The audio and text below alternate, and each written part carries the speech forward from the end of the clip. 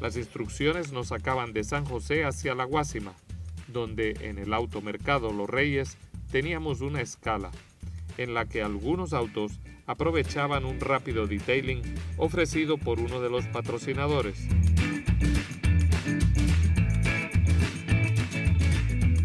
Mientras otros compraban algunos alimentos con los que aguantar más de seis horas de rally. Tras salir del automercado, nos esperaba el primer control.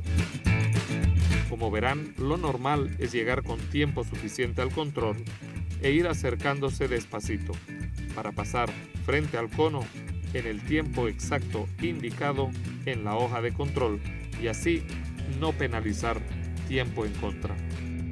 Como cada auto debe seguir la ruta en su tiempo, los organizadores crearon una serie de lugares donde parte de los participantes iban sobre la misma carretera, pero en sentido contrario, lo que hacía pensar que uno iba en dirección errada. Era todo parte de la dinámica del rally y de la diversión del evento.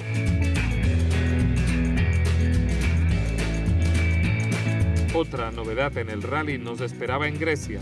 En un terreno adyacente a una gasolinera se había trazado un circuito sobre tierra que debía recorrerse en un minuto exacto. Aquí, las tripulaciones panameñas se lucieron, haciendo tiempos perfectos con apenas una pequeña pérdida en centésimas. Todos los autos debían hacer el recorrido, lo que causó algo de atraso en el programa del rally, que obligó a cancelar uno de los controles sin afectar el recorrido total.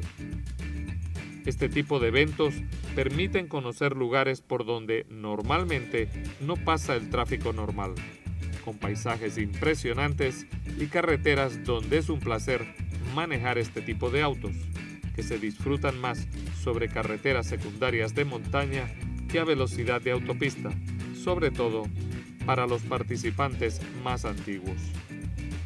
El clima también colaboró, pues casi todo el recorrido se hizo con sol, aunque bastante nublado, lo que permitió disfrutar del clima fresco de la hermana nación.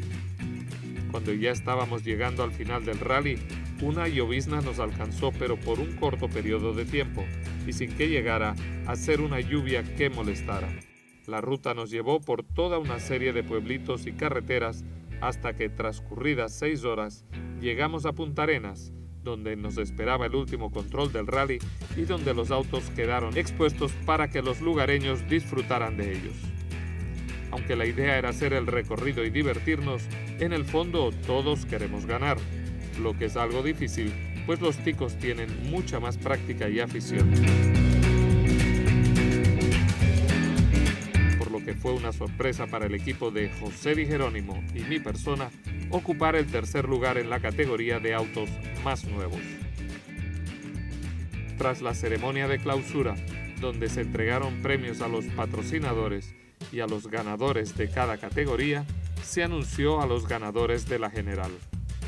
El tercer lugar fue para Joachim e Igor von Kosler en un Volkswagen Safari de 1971. El segundo puesto fue para Leonardo Vincenti y Mónica Arroyo en un Plymouth Valiant de 1964. Y los ganadores, con un tiempo acumulado en 6 controles de solo 5.9 décimas de segundo sobre el tiempo ideal, fueron Alan Rodríguez y Bernardo Castro en un MGB de 1963.